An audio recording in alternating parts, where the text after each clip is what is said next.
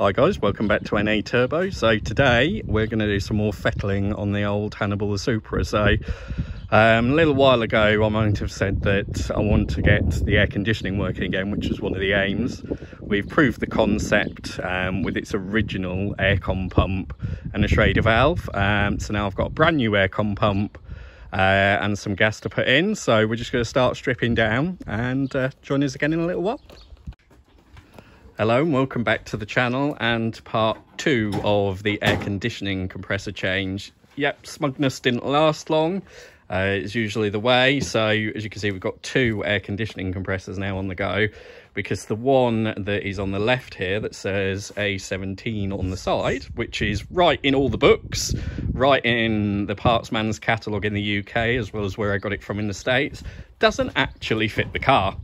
But unfortunately, it looks the same until you get down to actually fitting it on the car. Um, and then when you go to put the belt around it, you realise that it sticks out too far. So lots of uh, engineering later and looking on the internet and some playing around. And we found that the number on the back, which is 15C, is the correct one, but it doesn't list it for a Supra. So this is actually off a 1990 uh, Land Cruiser, according to the American catalogue and the UK one, but it fits. So uh, there's a little uh, piece of nugget information for you. Don't always believe parts catalogues because they're not always right.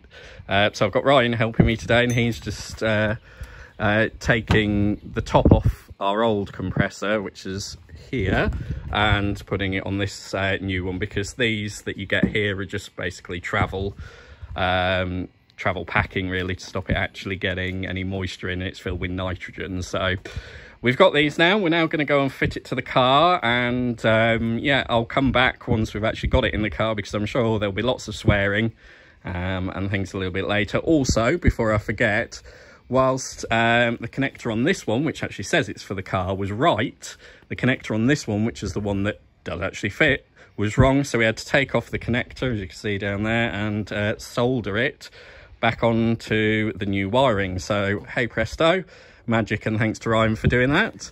Um, we're now going to try it back in the car again, so catch us a little later on.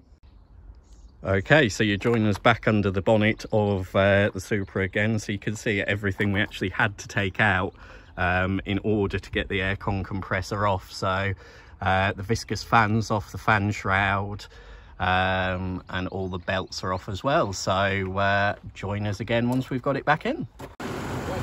Hello, so welcome back to part 9 billion or whatever. So yeah, even with the new one, it wasn't that simple.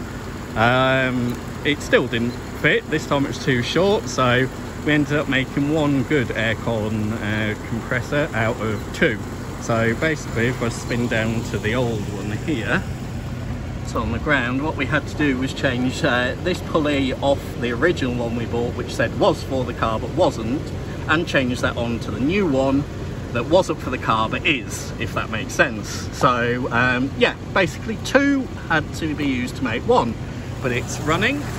Everything's now back on and if I whip you round and inside uh, you'll have to take my word for it but we've recharged and if I now sit in the aircon is running as you can see and that is ice cold. I've got an air conditioning portable unit in my bedroom and it's as cold as that, which takes it down to about 16 17 degrees C. So smugness has returned, albeit after lots of swearing and cursing.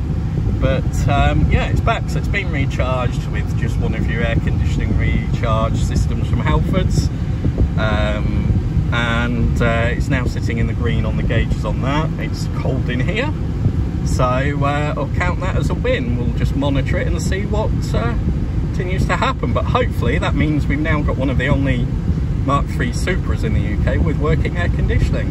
But I'll say thank you for watching and yeah, do like and subscribe. Bye bye for now.